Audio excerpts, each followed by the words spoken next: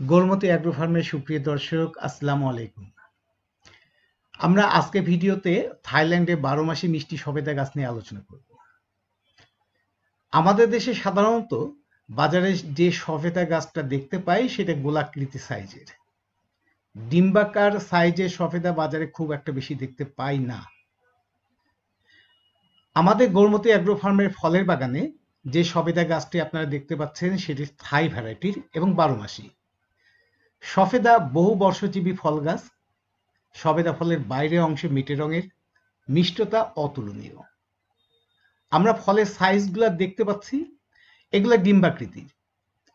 প্রায় সব ধরনের মাটিতে সবেদা চাষ করা যায়। ছাদ বাগানে যদি একটা সবেদা গাছ লাগানো যায়, তাহলে সারা বছর আপনি ফল খেতে পারবেন। সাধারণত সফেদা ফল গাছে পাকে না পরিপক্ক সফেদা গাছ থেকে পেরে বাড়িতে স্বাভাবিক তাপমাত্রায় রেখে দিলে তিন থেকে চার দিনের মধ্যে পেকে যায়। পেকে গেলে আপনি এর একটা মিষ্টি ঘ্রাণ পাবেন। গোলাকার সাইজের সফেদার চাইতে বারো মাসি ডিম্বাকৃতি সাইজের সফেদার মিষ্টতা অনেক বেশি হয়ে থাকে। অনেক সময় আপনি গাছ পাকা সফেদাও পেতে পারেন।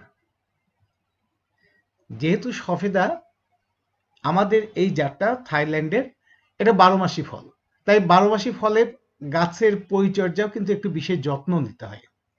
গাছের পুষ্টির দিকেও লক্ষ্য রাখতে হবে। নিয়মিত গাছের গোড়ার মাটি আগলা করে দিতে হবে, জৈব সার দিতে হবে পরিমিত পরিমাণে। ছাদ বাগানের সবেদা বা যে কোনো গাছ রোপণের আগে মাটি প্রস্তুত করে নিতে হয়। মাটি বেলে দেওয়া হলে ভালো হয়। মাটি প্রথমে গুঁড়া করে নিতে হবে। রোপণের দশ দিন পূর্বে মাটির সাথে অন্তত পঁচিশ ভাগ জৈব সার মেশাতে হবে। কেঁচো সার বা ভার্মি কম্পোস্ট সার দিলে সবচেয়ে ভালো হয়। স্থানীয়ভাবে কিন্তু আপনি ভার্মি কম্পোস্ট সার পেয়ে যাবেন। যদি না পান, তাহলে আমাদের সাথে যোগাযোগ করবেন। আমরা সুলভ মূল্যে ভার্মি কম্পোস্ট সার বিক্রি করে থাকি। থাইল্যান্ডে বারো মাসি সফেদার এই গাছ আমাদের নার্সারিতে আপনারা পাবেন। ফল সহ চার থেকে পাঁচ ফুট উচ্চতার গাছ আমাদের কাছে আছে। স্টক থাকা অবধি পর্যন্ত আমরা আপনাদেরকে এগুলো দিতে পারব। চারার বয়স উচ্চতা অনুযায়ী চারার মূল্য কিন্তু ভিন্ন ভিন্ন হয়ে থাকে। প্রয়োজনে আমাদের সাথে যোগাযোগ করতে পারেন। আমাদের নার্সারিতে ভিজিট করে নিজেদের পছন্দ মতো বিভিন্ন জাতের চারা আপনি সংগ্রহ করতে পারবেন। আবার সারা দেশে কুরিয়ার সার্ভিসের মাধ্যমেও আমরা চারা পাঠিয়ে থাকি। ধন্যবাদ আমার চ্যানেলের দর্শকবৃন্দ।